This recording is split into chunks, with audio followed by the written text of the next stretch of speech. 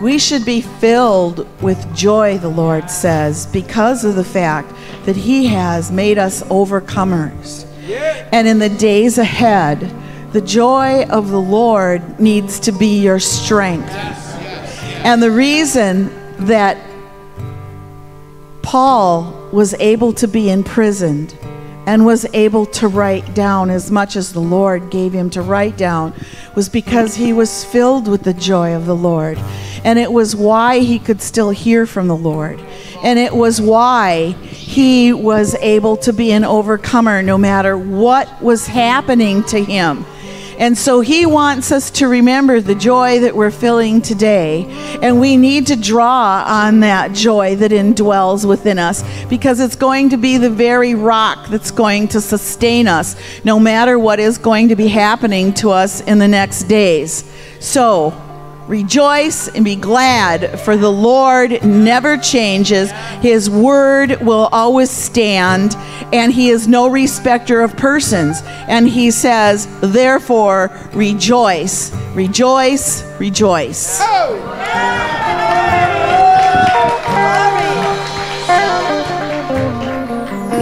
Let's do that. Let's just rejoice in the Lord always. And again, I say rejoice, rejoice, joy, joy, Jesus, Jesus, Jesus, hallelujah, hallelujah. Do it, an act of faith. Give them your best. Jesus, you are our joy. Jesus, you are our victory. Jesus, you are our everything. Ha ha ha ha.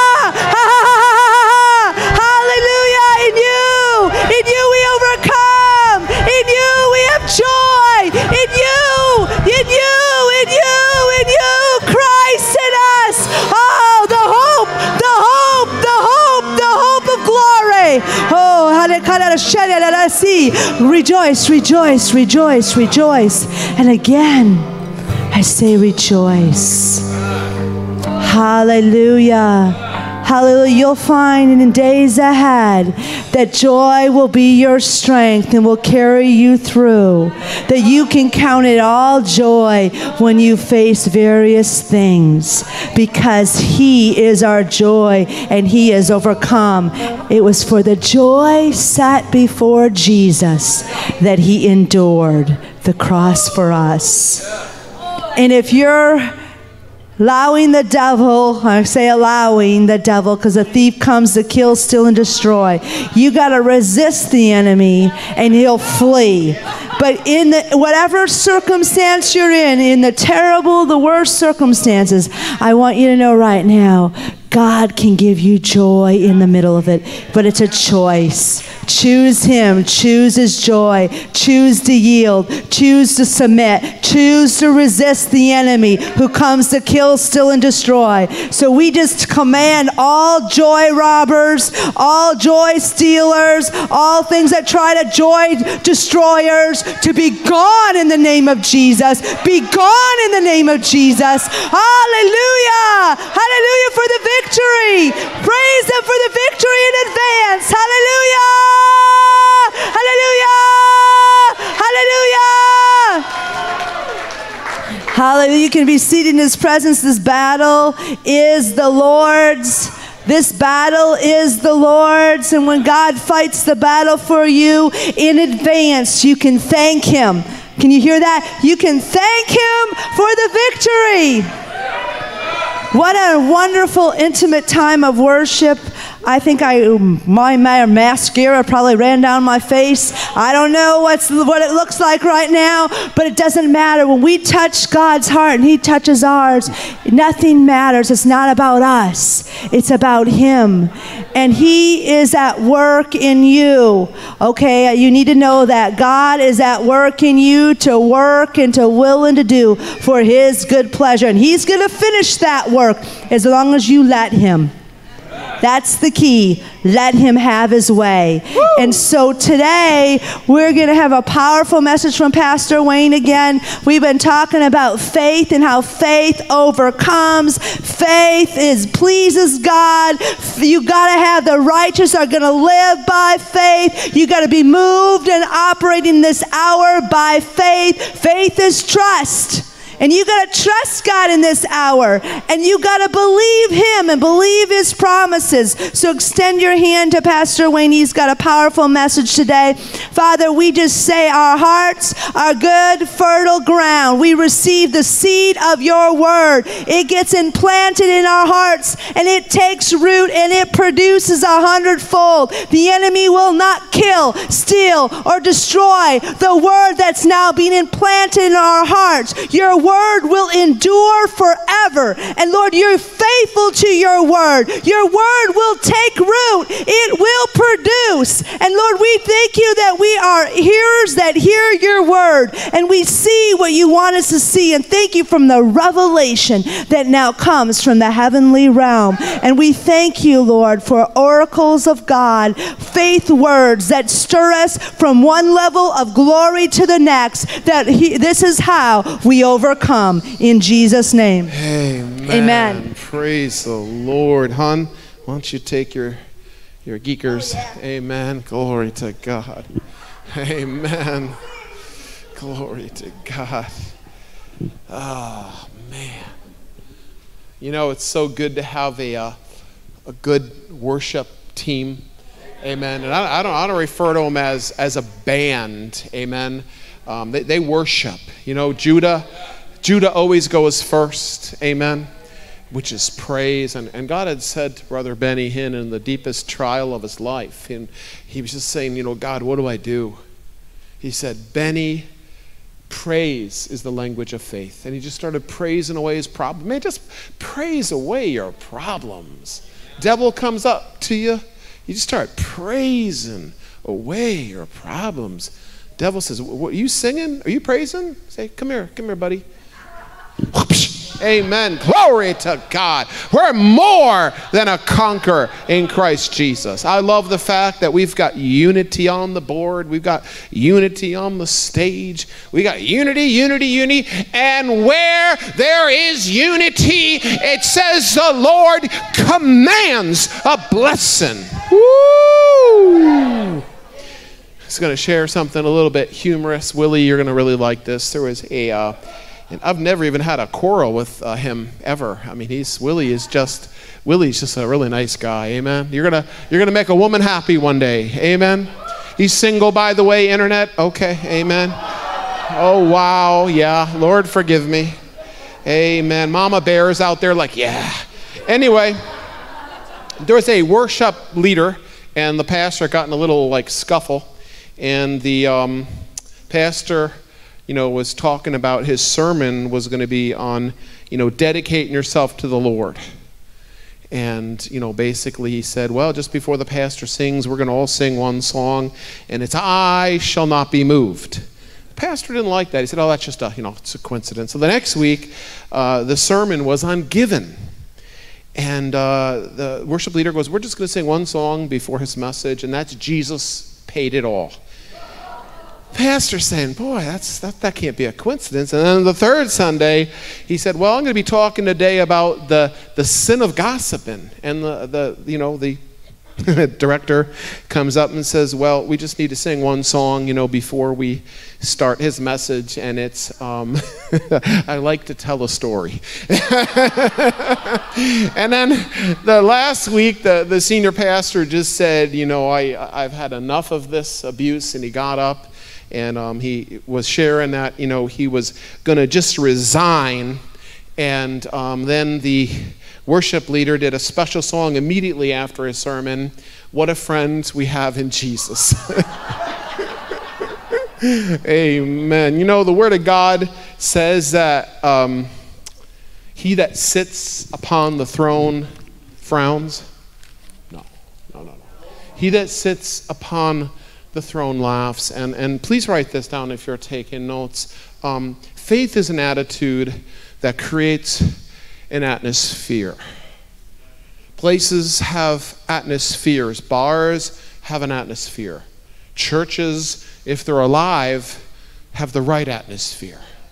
But being in the right atmosphere will bring you into his holy stratosphere because when you have an attitude of praise, God will raise, because attitude in the spirit, if you want to write this down, is altitude.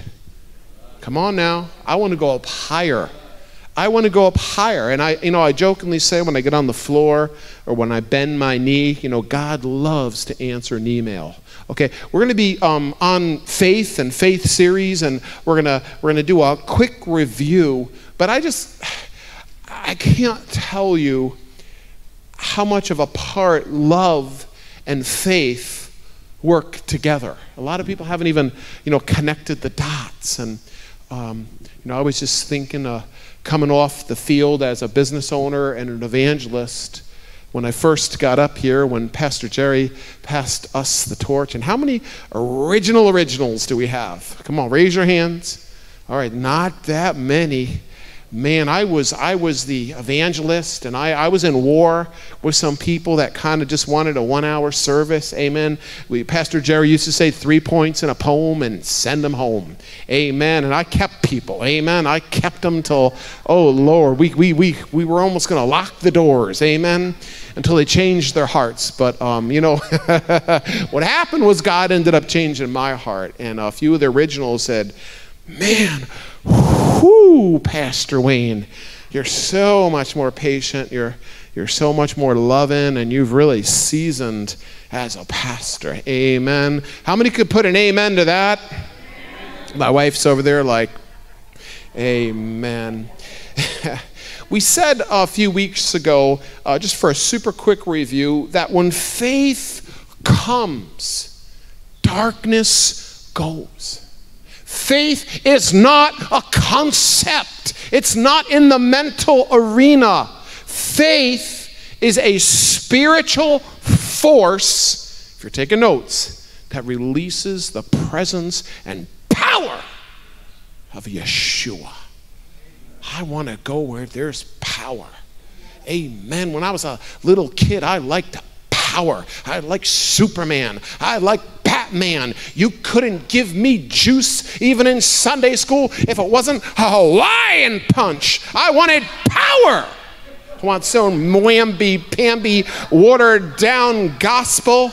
Oh, Sister Granny's offended because somebody stole her seat. You know, amen fighting over a mildew pew on a cushion. Glory to God. We're the redeemed and we stand in a holy priesthood. Woo! we really don't. You could take this back to Two Trees in the Garden. How many remembered that series? Many said that was our favorite series to date. But, you know, you really don't have a sin problem so much because technically we really don't have a sin nature. Now, I'm not saying we don't sin, that would be a lie. You know, James says if we, we say we have no sin, we deceive ourselves and the truth is not in us. But we do have a new nature. We are the righteousness of God through Christ Jesus. So we really don't have so much a sin problem. Do you know what we really have? We have a faith problem. God simply said to Adam and Eve, the mother of all creation, you know, in the day you mess with that tree, you're going to die. Did God really say? Hmm. If you have to stop and think, you're in the lion's jaws. Do you understand that? If they just stuck, uh, stood with the original word that was given them, oh my, we, we wouldn't have sin, I don't think, in the world. So we really don't have so much of a sin problem, is we have a faith problem. Because if we're led by the Spirit, it says in the New Testament, we're not under the law. Hello? And faith which works by love. And love covers a multitude of sin. Ooh, thank you. Mark 11, I'm just, I'm teasing. Mark 11, 23 and Mark 11, 24 talk about, you know, whatsoever or whosoever you say. And we mentioned that it says, saith three times, but believeth once. And when uh, Brother Hagin had a divine encounter in heaven, he said, I want my people on earth to speak three times more than they're believing. They're not, he said in heaven, My people are not missing it in how they're believing. My people are missing it on the speaking end. And he said, Do you notice that I said, It, it, it's, it's, it's Mark 11, 23 and 24. Whosoever shall say unto this mountain or problem, be thou removed, be cast in the sea, shall not doubt in his heart, spirit, but believe those things he saith, he shall have whatsoever he saith. And we gave the demonstration of, you know, lady during the tent revivals in the 50s and the 60s went to all the big dogs, all the who's who in the charismatic zoo, couldn't get healed. Finally cor- cornered Oral Roberts, said, I have all the faith in the world, but I can't be healed. And he turned to her and he said, You're right, woman. You have all the faith in the world, and that's your problem. You're not releasing it. Took a few minutes with her and said, Let's confess, let's agree together. Instantly healed. It's one thing to have faith, but faith, please write this down, demands expression. It has a lot to do with being linked to love, and it has a lot to do with being under authority. A lot. We're going to talk about the authority a little bit. We're going to talk about the love a little bit. Ooh. In Romans 10:8, we said it says the word is near and nigh to me. It's in my mouth and in my spirit and my heart. This is the word of faith which we preach. That wasn't a movement. That was the word. And then if you want to go to Genesis 1 uh, 3, it's where Jesus, and, and you know, he's like watching, let's put it that way. God actually decrees. See, Jesus, God, Holy Spirit, they've always been around. Do we realize that? All right, Jesus wasn't like just a new concept or idea when we come in the New Testament. Okay. He speaks, let there be light, and light was. Out of the abundance of the Father's heart, he spoke, and it happened. Out of the abundance of our heart, we speak, and it happens. If it's up in the mental realm and you're just speaking the word of God, the letter of the law that kills, you're no different than a parrot. For whosoever shall say unto this mountain, be thou removed.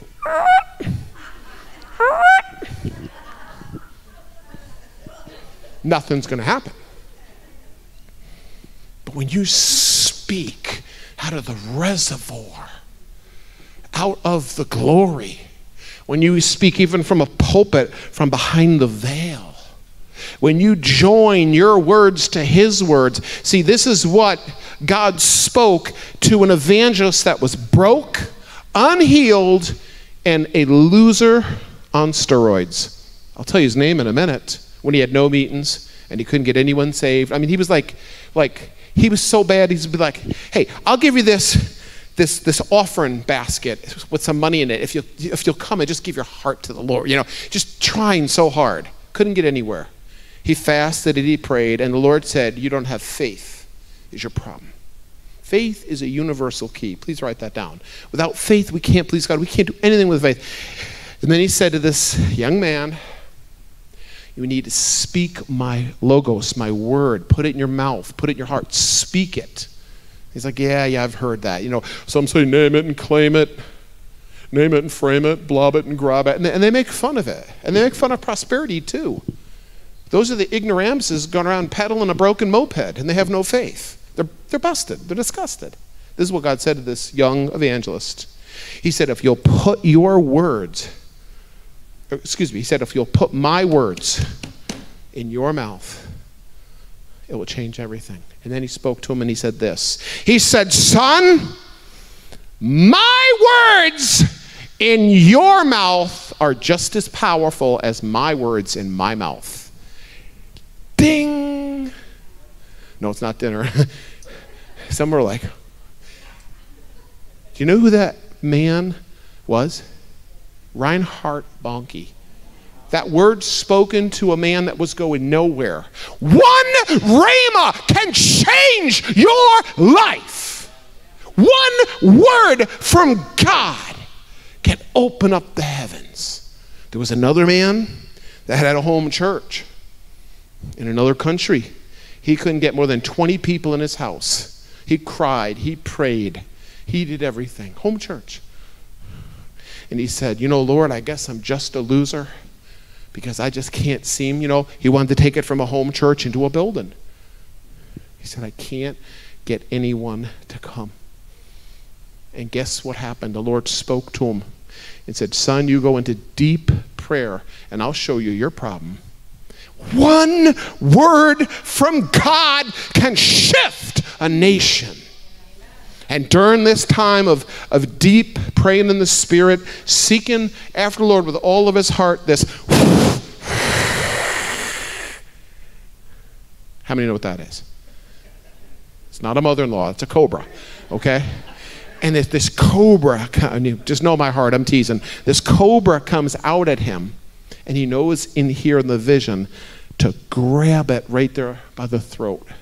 And he grabbed this thing and he said, In the name of Jesus, I take authority over this, this cobra, this serpent spirit that has hindered the growth of my ministry. And he shook it, saying, In the name of Jesus, and kerplunk, it went down. That night, 6 p.m. service, if you have 20, 25 on Sunday morning, what do you have on a Sunday night? You don't have to be a mathematician, about 3% of 20 probably. All these people started coming through the door. And he goes, How'd you hear?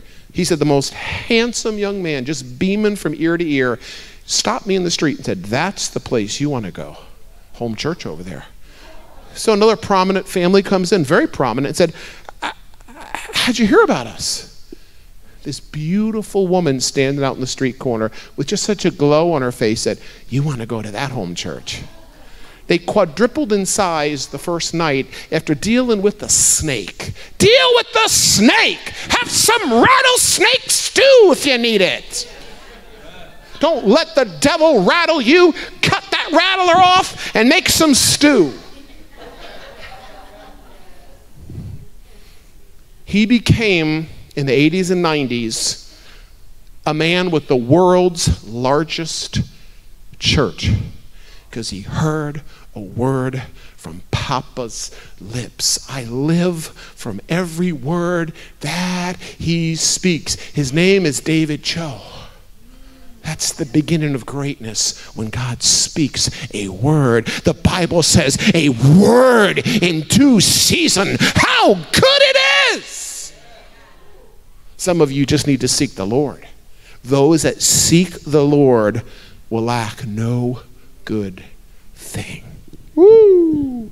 Smith Wigglesworth said the only person in the Bible that it's recorded that he was deceived by feelings was Esau. Do you remember that? The whole thing with the, the skin on the arm and the voice? Go with your first impression. Go with the first scripture Holy Spirit brings to you. Please write this down. Holy Ghost always brings good word as you're meditating. Hmm, should I obey God or not? he comes in. Did God really say? Your first inner feeling, your intuition of the Holy Spirit is always God. Please write that down. Your, did God really say? I'll do it later. Eh, I'll procrastinate. Procrastination is terrible.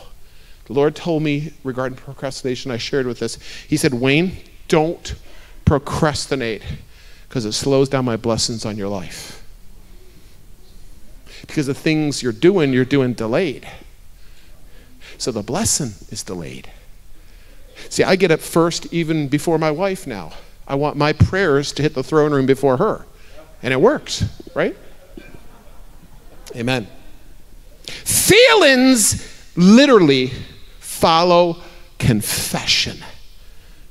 Feelings follow what you say and actually, they've proven, secular surgeons have proven that the right words spoken release the right chemicals. The wrong words spoken mechanically and on a molecular level release the wrong chemicals. Please write this down. You're the total of what you've said the week before.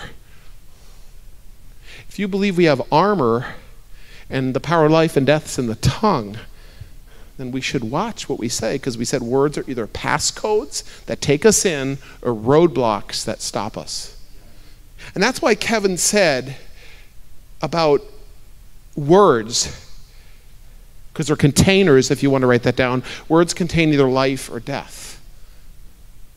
And what Jesus said when he appeared to him, he said, Kevin, be very careful about what you say about other people in the church, your brother and your sister, because even your words, because I've created you in my image to create, even your words can hinder my process of maturity in dealing with my own people.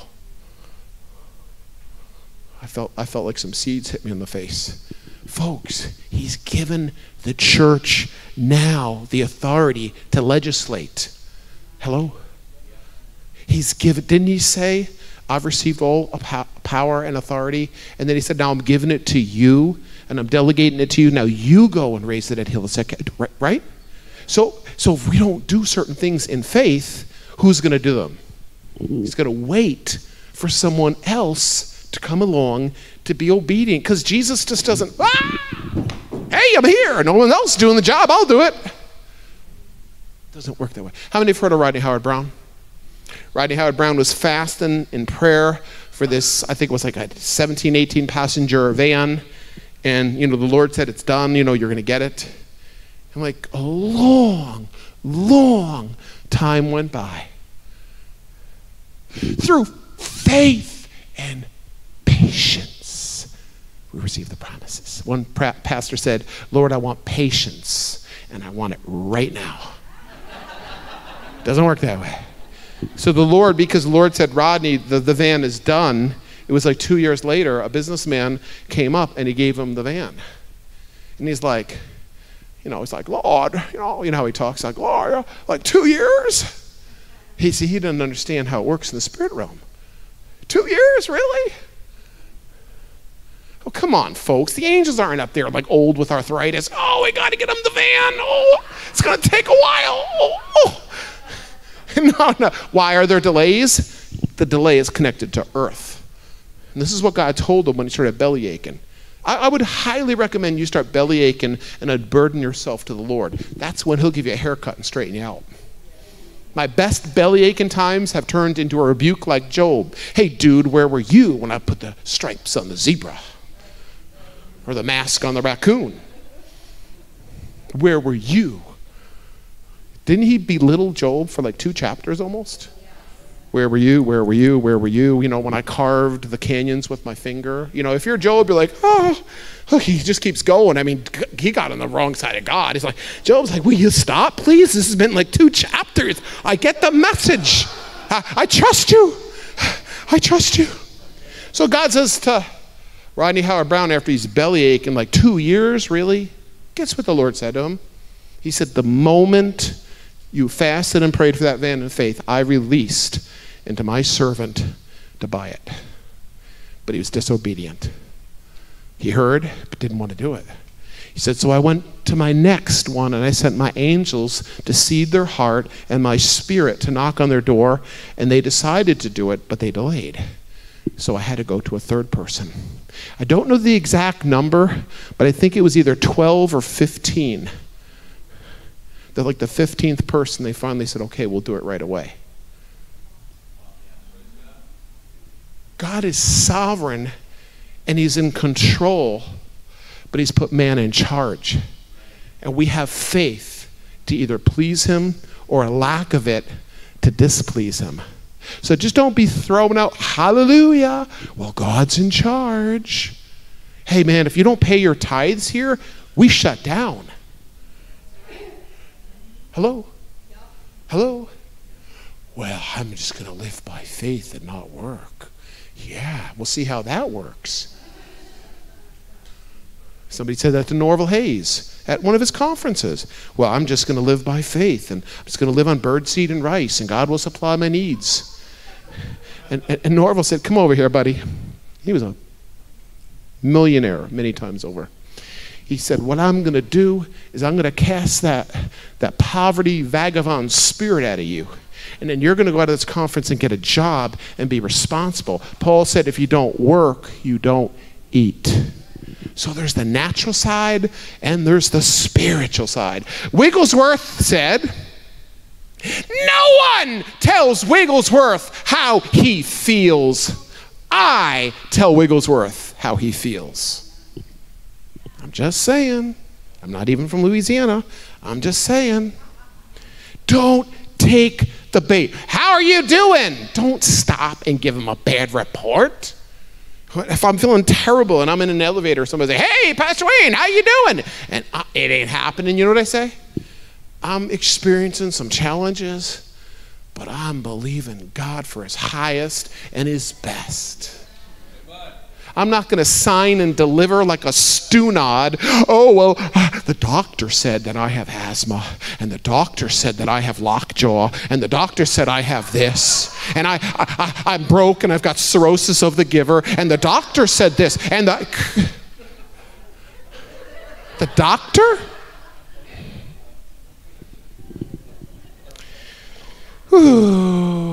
And we said Psalms 34 19 says, Many are the afflictions of the righteous, and, and people stop there. How is your day? Oh, I'm terrible. I'm going through famine, flood, pestilence, all in the same day. Oh, jeez, wow. Can I be honest with you? I'll come back to Psalms 34 19, but when I'm really down, I mean, I'm just down. I get down some days, but I know how to get myself right back up. I like speed dial the biggest crybaby in this church. I'm not going to tell you who it is because we won't have a big crybaby in the church anymore. And I'll ask them simply how they're doing. Oh, they'll give me an organ side. My kidneys, my liver, you know, bad confession after bad confession. And I listen for a while about their pain, their arthritis, their, their kids don't serve the Lord, their dog ran away. I mean, everything is just wrong. And I'm like, dang, I don't think I have a problem. I feel good now. Okay, click. It's perspective.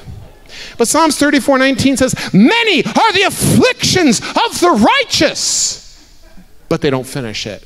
And the Lord delivers out of them all. And in the original Hebrew, there, we said that means tests, trials, or sickness. It doesn't always just mean sickness, it can mean weakness depending on how you're using it. So just remember, whatever you're going through, like that book by David Nunn, Declaration Faith, he said, on your worst day, you can say, I am blessed. Paul said, it's just but for a moment our affliction. Right? Just but for a moment. Please write this down. We're going to go into new stuff in just a moment. But circumstances will always manifest against the word. And it really comes down to whose report will you believe? I don't let people talk junk to me. When I had my spinal cord injury, and they were like, You're never going to walk again. We're going to probably put one of those bags on you because I had lost bowel and bladder. My whole left leg I couldn't move. My whole saddle region I couldn't feel. Um, there was a lot of multiple, multiple problems. I was respectful, but I talked back to the surgeon. I talked back to the nurse. I said, Well, you know what? I'm believing better. My faith tells me that I can have what I say, and you'll see that I'll have what I'll say. And I said, by the way, out of this 12th floor spinal cord trauma unit, I'll be the fastest one to get up out of this bed and leave. And they would be huddled laughing about me. I could, I could hear really good sometimes. Like, have you given him too much Dilaudid? I was on Dilaudid. I was hooked up to IV, you know, heavy morphine, a lot of stuff. But they noticed faith is an atmosphere. They noticed that my room at the hospital was the cool place to be. And I had a few nurses. I had a nurse just come in the door, just.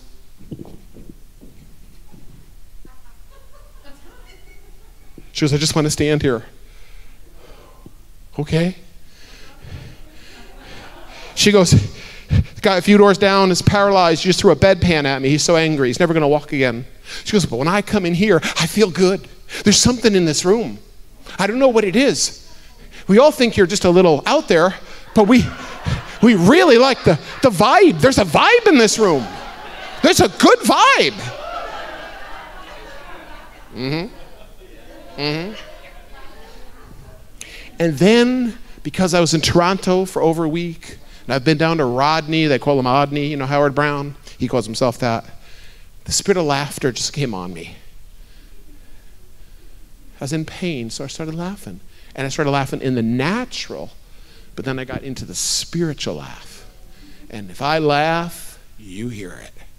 So I'm laying down. Oh. I have a whole bunch of nurses running. Are you okay? I'm, no, I'm, I'm really good. I'm really good. I'm, and I laughed and I laughed and I laughed and I laughed. And, and I had a, a catheter and there's a bag at the end of my bed. And when I would laugh, I would, I would, it would, the level would go up and the nurses say, "Stop laughing! You're just you're just pumping out all the, the toxins in your urine." And and and and and, and I was drinking water because I used to work in a health food store. You know, the detox, drinking water, pitcher after pitcher after pitcher, and I'd laugh. they were changing bag after bag after bag, but you know what? I got out of there the fastest in the history of that hospital.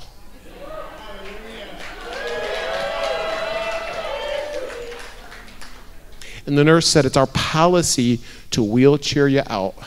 And I did a Jesse on her. I said, No, baby, you sit in the wheelchair and I'm going to wheel you out. She goes, You are unusual. I said, I know. I've been told that since I was born. Asher means what? Asher means laughter. Asher means laughter. And Gail Sheehan, how many remember Gail comes out here from Christian International under Bishop Hamon, Bill Hamon, a real prophet, a general. He stops the meeting. Gail and, and Leon prophesies over me, all about reads my mail, you know, past, present, part of the future. But he said, Over you, sir, is the spirit of Asher because you're going to get the best inheritance of the land. You're going to have laughter and favor continually on your life. And he said, Where you have been brutalized, rejected, hurt, because you wouldn't settle for religion, where people have abandoned you, your troops have left you almost alone at one time, God's going to bring back 10 times that for all the pain and the suffering, for not compromising, for not compromising. And he said, There's an oil of laughter and favor on you that's very strong. Well, what he didn't know was when I was born, Dr. Zalichin examined me and he couldn't touch me. Every time he'd touch me, I'd go into hysterical laughing. And he said, I've never seen a baby with such joy. He said that. I couldn't be examined. And then I was like a little Jehu. You know those little things that you put, those little, you're like three years old, and there are those little things you go like that. I was going like across the carpet, like 60 miles an hour. I mean, everywhere I went, I went fast, fast and laughing. My mom's like, he's going to be a race car driver, laughing, just burning rubber in the carpets. Amen. But that's part of my gift and that's part of my dynamic. So listen to circumstances. Simply disagree with them. You could write this down. Circumcise your circumstances. Take the sword of the word. Side in with God's word. Please go to Isaiah 10 27, where it talks about the anointing and the anointing oil. It says it destroys the yoke. If you want to write this down, words that are anointed release you out of the assignments against you. It says in Isaiah 10 27 that the oil and the anointing will break the yoke off your neck and your shoulder. And what you need to learn to do is break those assignments of the devil right off of you. Break them. Get bigger. The Lord told me one day when I was going through it, people are lying on me, exaggerating, embellishing. When they like you, you notice they don't do that when you get out of favor with someone, you can't do anything right. Do you realize that? You know what the Lord said to me? He said, outlive the lie. That's what He told me. He said, outlive the lie. I'm like, how do I do that?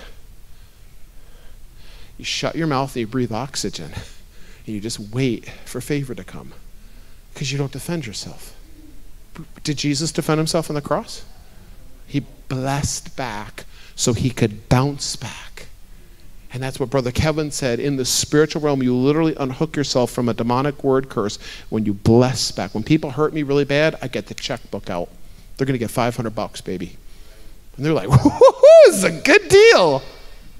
But what they don't realize is when I take it out of my hands and then I put it in God's hands, vengeance becomes His. Most things cannot be settled because they're in our hands of offense, our hands of judgment, our hands of opinion. When you take things out of your court and you go to the courts of heaven and you sit down because you're supposed to be seated in the heavenly places anyway, and you say, Lord, I bless them. He said, Bless those that despitefully use you. Lord, I bless them. I, I pray the best into their life. I pray the highest return on their crops. And when you do that, please write this down. The Bible says that when Job prayed for his enemies, the Lord doubled everything that was taken from him. It's right in the Word. How would you like double for your trouble? When Job prayed for his enemies and he blessed a nasty situation. Remember those three friends? In the original Hebrew, it's literally pronounced Mo, Lara, and Kule. Oh,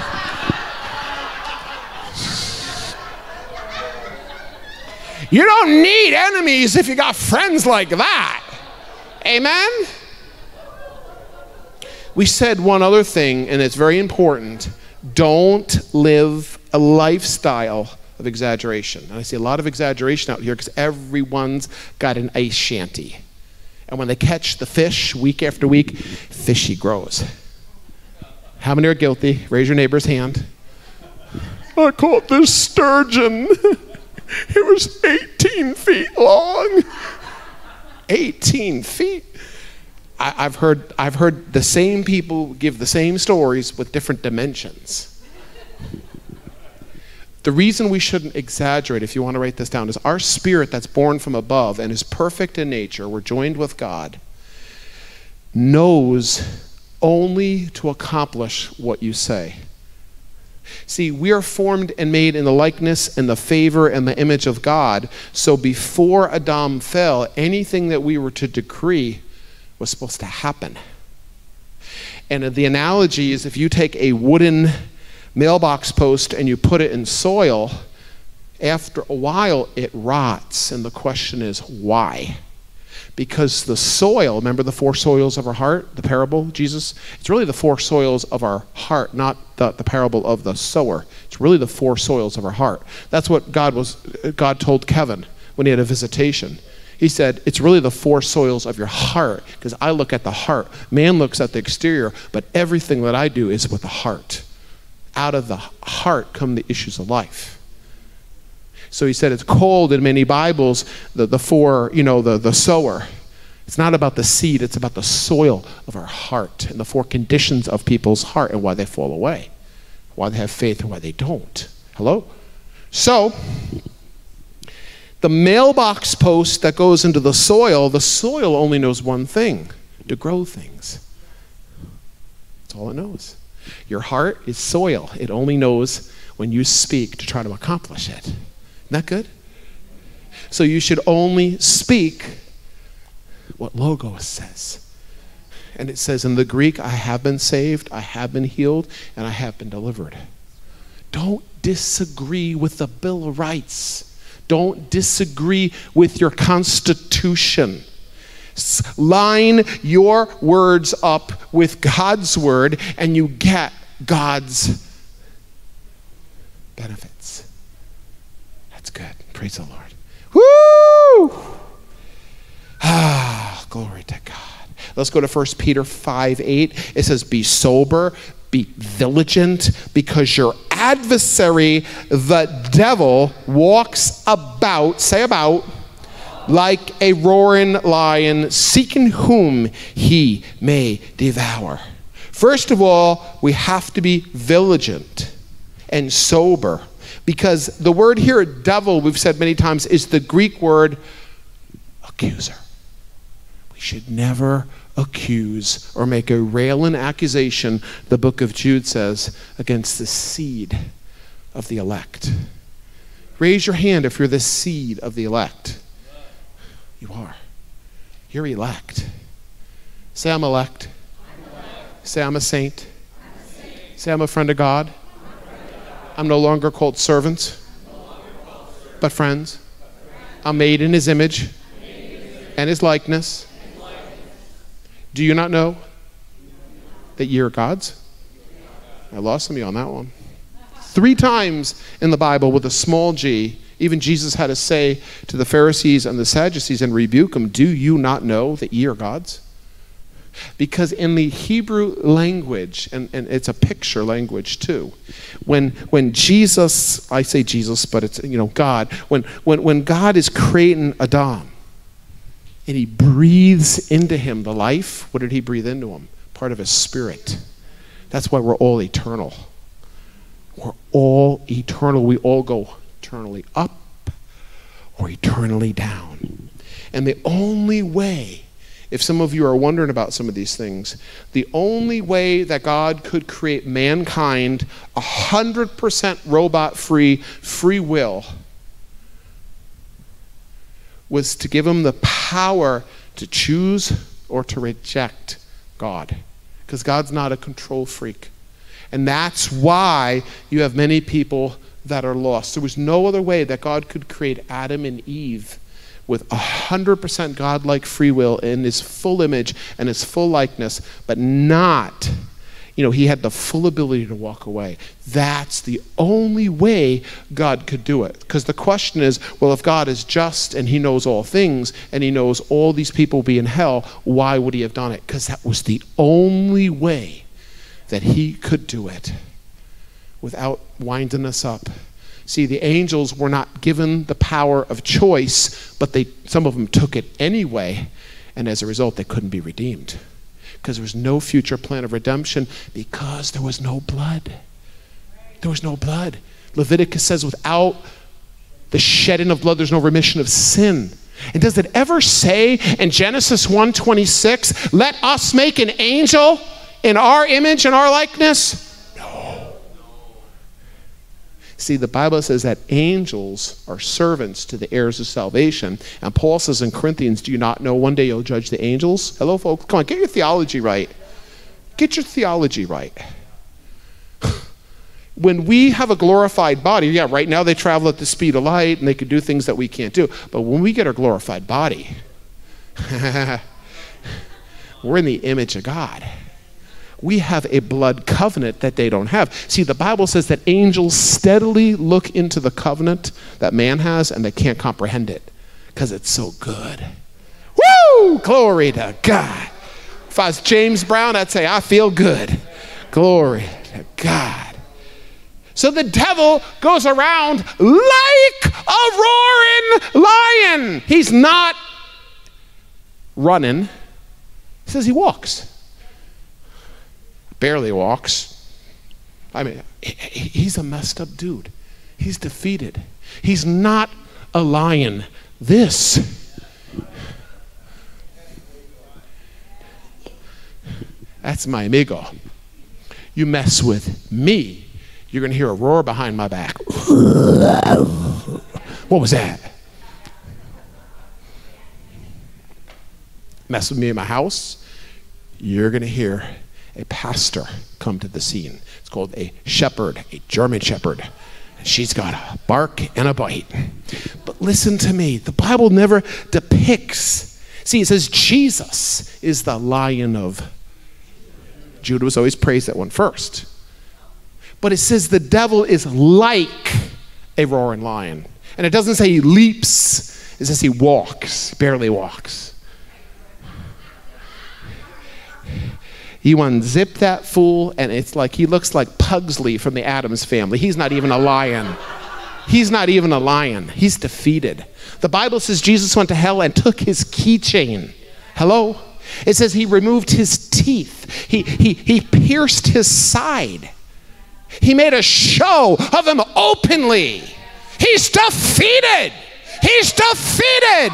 He's defeated. One old Pentecostal lady, Brother Hagin shared when we were at Rhema, said, Ah, Brother Hagin, I got the devil on the run. And he said, Well, hallelujah, sister. And she said, Well, it's not good because he's running after me and I'm running too. But listen to me. Listen to me. We've got this back. We are the ones that rule and reign in our priesthood. Hello? We have belly buttons. We came through the birth canal legally. We have residence. The enemy was banished here. The enemy is, is, is, is, grotesque. Can, can, I, can, I, can I, I have, ooh, thank you, Holy Spirit. How many like smorgasbord? Especially when you go to like pizza kitchen. the enemy attacks women with low self esteem and rejection more than any other thing.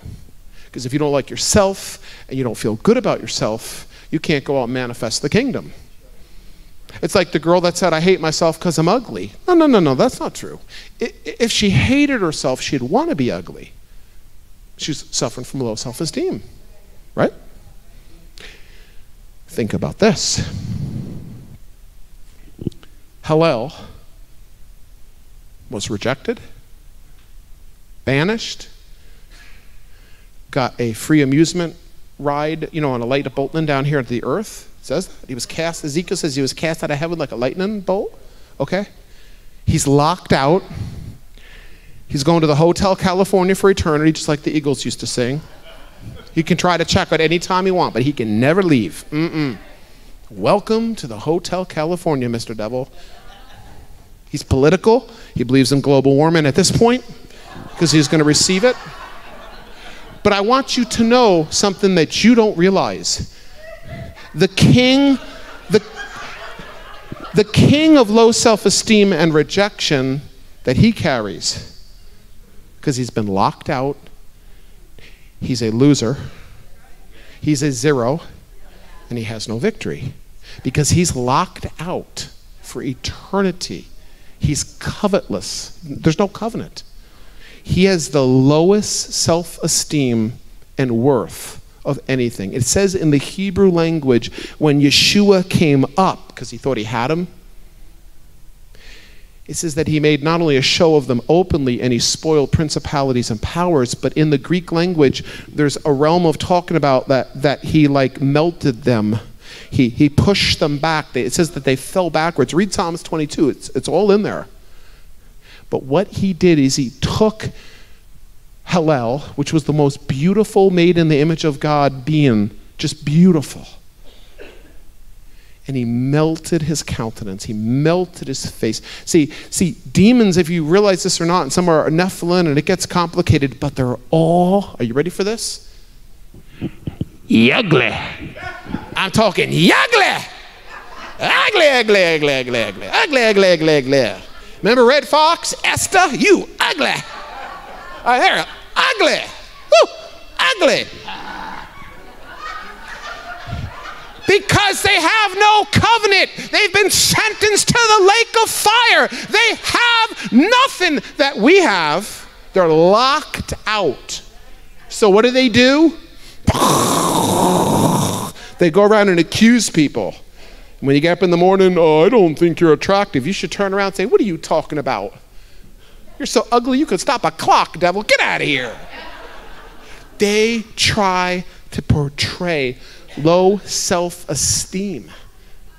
And if you got it going on down here, when you get up to heaven, oh baby, wait till you see you it's the perfect version of you. You'll be recognized in heaven, but like the perfect, you know, God just like is so kind. It's like a little too wide, a little too short, so, some wrinkle removal, not enough hair, miracle grow. I mean, God can do everything. When you get to heaven, you all look right around the age of 28 to 30, people say, or 33, somewhere right around there, and you are perfect. You go back to the garden estate. I mean, you're, baby, you're in better homes and gardens when you die and get on the other side. I mean, you're, you're good. You're all that in a bag of communion chips. I'm telling you. So if you got low self-esteem and you don't like what you see, or you know, I'm not smart enough, I'm not tall enough, I'm not athletic enough, it, oh, just tell the devil how bad he's got it. Uh, when the devil comes over, he tries to like remind me of my past. I'm like, dude, I don't have a past. I don't have a past. But you have a very long future. Very, very hot. Yeah. Yeah. I'll sing the old lines of Hell's Bells from ACDC. You're going to burn. I, mean, I, I give back to him what he tries to give to me. And because he's a little defeated punk, he runs. My dad always said, You know how to stop a bully? Pop him right here in the chin. Never mess with you again. Oh, I heard a bunch of Christians. I call them sissy parents. Well, God's not the author of, of doing that. That's false theology. How come when Brother Kevin was here, he shared that this bully that went around beating everyone up came after him? And he was in hours of prayer, would fast you know, 29, 30 days at a time. And the Lord said, Kevin, now just step back, step back. And he said, When I tell you to punch him, I want you to punch that second. And the Lord gave him that Mike Tyson time, and he hit this big Goliath, knocked him right out. You don't think like God thinks. Come on, man, get some fight in you. Jesus is a warrior. He's the most misrepresented man on the earth, I believe.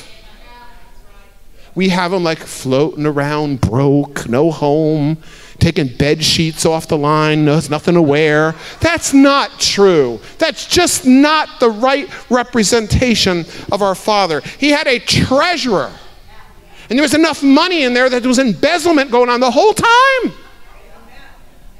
And when he said, don't take a cloak or, you know, don't take your tunic or don't take food or money with you, he was trying to get them to live by faith. When he said, when you go into the city, don't take these things, he wasn't trying to make them broke. Because poverty and sickness in the Old Testament is a curse. Hello? Three curses of the law, if you want to write this down. It's indisputable spiritual death, sickness, and poverty. And if you're looking to get poor so you can get close to God, I don't understand some of these people. I, if, you, if you think sickness makes you like closer to God, then like when the doctor gives you medicine, you should just like bat it out of his hand. I need to be sick. That's, we're not going to go there. Job 22, 28. Job said, I will decree a thing and it shall be established. Please write this down. Why settle down here? Why settle when you can sue? What are you talking about? A Christian shouldn't take his brother to court. I'm not talking about that. And, he, and Paul was right, you shouldn't. Paul said, I'd rather be wronged I could have so, sued quite a few Christians over my life, and I've just blessed them. I've written big checks, and I've gotten big dividends back because I go to the courts of heaven. So when I say I want to talk about suing, I'm talking about suing the devil. You can counterclaim the devil. It's called fasting. It's called praying. It's called going behind the veil and dealing with offense, getting your heart free and blessing your enemy, and then prosperity comes. Paul said, I'd rather be wronged, but a believer should never take another believer into court. He said that. Why would we need a natural court system when we've got the courts of heaven? Would you rather sit in a folding chair or be seated in heavenly places far above principalities and powers? Would you rather be healed or would you rather walk around sick? Just saying. Just saying. Okay, praise the Lord. Please write this down. Demons attach themselves to emotion and memory. And that's why a lot of people need deliverance and they're stuck. They can't get past or out of a certain point. But angels are always activated and come for the timeless realm of speaking God's word. See, how many would like a hack? If you're playing music and it's secular, you could be at risk. Because whatever is in the heart of that composer's, whatever is in the heart of that composer gets in, bred into the music. So, music, if you realize it or not, it just doesn't make your soul feel good. It gets into the spirit realm. That's why worship opens portals. Do we realize that? When we're worshiping, we're literally opening the heavens, and the angels can come up and come down. And that's why you feel so good.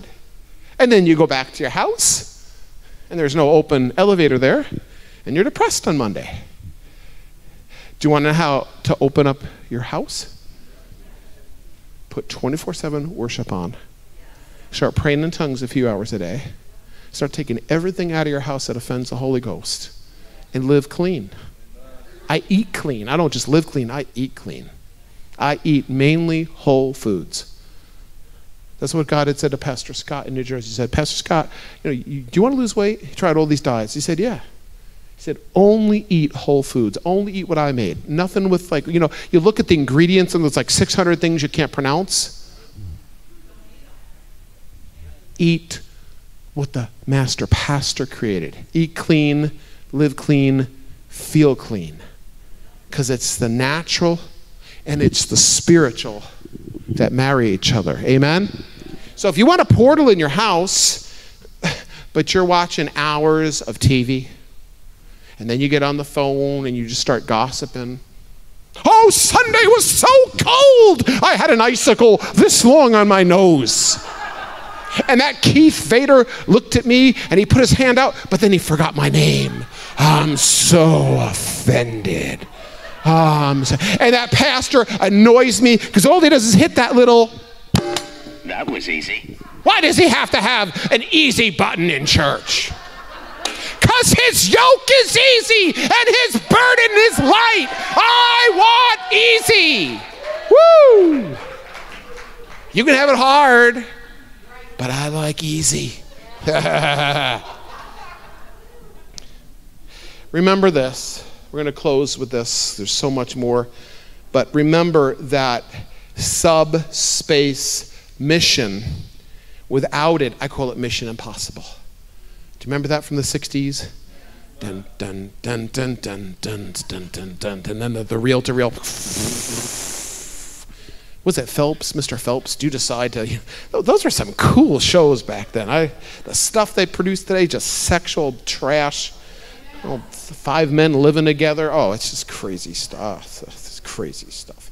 But I'm just telling you, your your mission is impossible if you don't have submission. The whole reason a submarine is protected because it comes under the waters. It comes under the waters of adversity. And we've said many times that adversity is God's university. That's how he'll, he'll teach us things. But listen, if you don't have submission in your life, you can't operate in the God type of faith. And I'll give you one closing example. Lisa and John Bevere were, you know, they're both Italians and they were fighting and there were all these issues. And finally, she was in the bathtub one day She's like, I'm just going to leave John. I can't, I can't handle this anymore.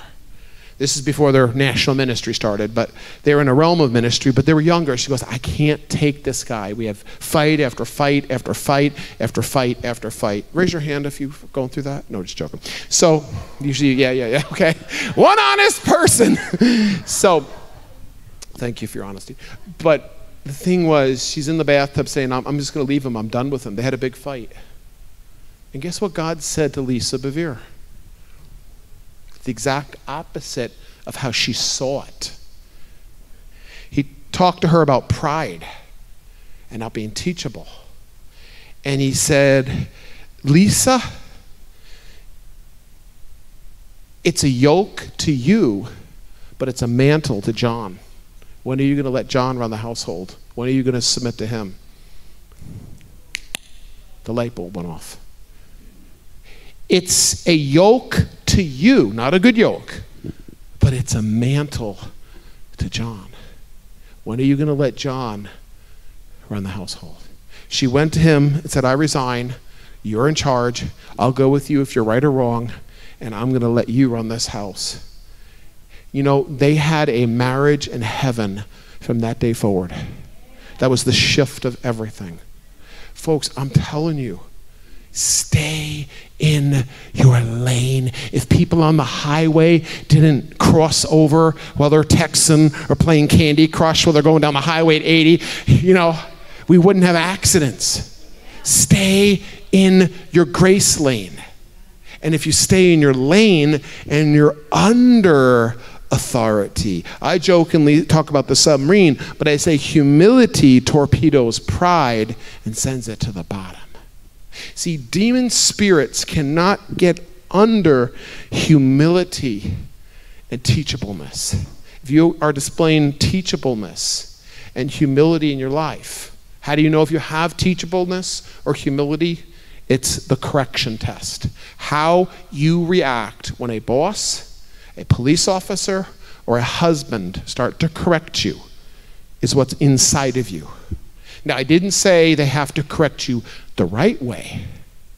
Because, you know, if there's a husband like, oh, honey, I don't, I'm not really happy, you know, I mean, but it's when we're corrected the wrong way. Do you see what I'm saying? Hello? Got quiet in this uh, Amish church? When you're treated wrong, how do you respond? Do you take correction as rejection? If you take correction as rejection, it's because there's pride there. So if you want a greater realm of faith, you have to have a greater realm of I come under. And Lord, I'm going to cut this leader a break because they probably have another 100 people they're dealing with that are. Father, I'm going to give my husband a break because he's at work and he probably has management over management over management giving him a hard time. Hello? Cut people a break because you haven't walked in their shoes. Hello? So let's say this together. I will, I will. cut, cut. My, neighbor. a break. Thank you, Father. Wow. How many feel that today they could go into a deeper realm of teachableness and honor and getting aligned so your faith will work. See, what, what we what see this is what people don't understand. Our human body is designed to heal itself when we get a cold, when we get sick. The human body is designed with the immune system and everything in it to heal itself. But it can't when there's offenses and there's woundedness. Do you see what I'm saying? We are supposed to live in a culture of perfect peace with one another. But do we? But we can. We can. I'm gonna, I'm gonna, I'm gonna, I'm gonna, I'm gonna challenge you with this last revelation. How many would like a Scooby snack? An evangelist that's worldwide famous, and Willie, if everyone get come up for your battle stations, was highly offended by someone in the ministry. And guess what the Lord said to him? He said, as a believer, say believer, believer.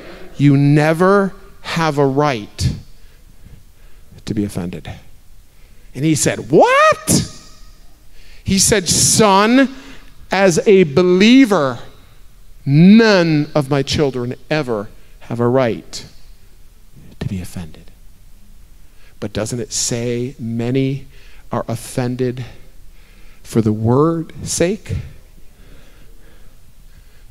We just got one of those new 56 volt, you know, electric uh, mowers. But when you still hit a rock, how many know that sound? Uh, what happens when you hit a rock? The, rock, the blade's spinning around, it hits the rock, and you, you hear that distinct noise. And that rock goes flying out. That's what happens in the church. We get offended, either rightfully or wrongfully, and we go like that rock flying out of the church. Many are offended for the word's sake, but we don't have a right to be offended. So, what do we do with offense? We bless back so our faith will operate because we have the God faith living in us. When we realize that we don't have the right to be offended, we have to say, then, what is the soil of my heart? And why am I feeling offended? Please write this down. We're going to end. Hurt people hurt other people. So the deeper you're hurt, the deeper the dig verbally, the deeper the financial injustice against you, the more that is a toxic wineskin. So you have pity on these people. You know, I just have to share this. We're done, but I've had people in business not pay me. I've had all sorts of crazy things happen to me. You know what I decided to do? I just decided one day to show up on their property and do work for free. You want to see the look on their face after they just beat me out of thousands of dollars? Well, I'm a minister, and Jesus said to bless back. And that's what I'm doing. What else do you need done? Well, I'm, I'm Jewish. I don't believe that way. Oh, it doesn't matter. You still reap the blessings. I'm here for free. You're like thinking it's candid camera. No, there's no cameras. But the eye of God sees throughout the earth. They're so convicted they paid me. Because I returned good for evil. And when we return good for evil, it takes faith to do that.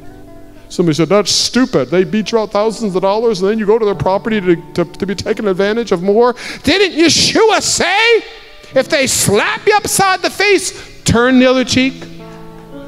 If they take you, you know, one mile, go the extra mile? That was under Roman occupation. That was a law in that day in Rome. But listen, folks, the harder it is to do, the more we need to get faith involved. And when you get faith involved in your deliverance, your healing, uh, restitution, reconciliation, I mean, you can put faith into all these different things and they work. Because without faith, Hebrews 11, 6 says, it is impossible to please God. He that comes to God must believe that He is, and He's a rewarder. I know God is not a restrictor, He's a rewarder. You can't lose with the faith you use. If you will operate in the love of God, He will always get it back to you because He made the chessboard, He made the pieces, and He knows how to checkmate the devil. So you can't lose the game. Michael almost always loses when I, no, I'm just teasing. We're about 50 50 right now. But I'm just saying, when you sit down to play the devil in a game of chess, all I'm thinking of is checkmate. Checkmate. yeah. Amen. We love you guys. Can we just stand? Did this message help anyone this morning? Faith is practical. It's not a concept. It's a way of life. For says the just shall live by. Ooh, let's just close your eyes. Father, we just thank you that you're the man, literally, that is the message. You are life. You are warrior and poet. You are horse and rider. You are Alpha and Omega. You're beginning and end. And we are the eternal church, even now. Heaven and earth can pass away, but your words and your covenant remain intact forever. And you are a good God. You are a good God. And you said that you're not willing that any should die and be lost, but all should experience the new life. Because Yeshua is life and life in great abundance. So, Father, we just pray right now on the internet and here if there's anyone that wants to reaffirm their faith in Jesus, if there's anyone that's never voiced the need of repentance, that right now you will do it. Let's say this together right now. If you don't know where you're going when you die, just hook up right now. Let's say this Father Jesus, you are the only way, the only truth, and the only life. I receive you right now. I believe in you. You took my place on the cross that I could have eternal life. Whoever believes on the Son shall have everlasting life. I am now a son of the Most High. In Jesus' name. Amen. We're going to leave these altars open to agree to pray. If we could have Jane and some of our elders come forward. God's question, like I say all the time, is simply what do you have need of? There's nothing too difficult for God. All things are possible to those who believe. Let us just go into some worship. I'd like us to just sing one song and to soak. And then after one song, if you could just start coming up, we'll start anointing you with oil and pray in the prayer of victory and faith over you guys. We love you guys. Let's just go, Willie, into um, some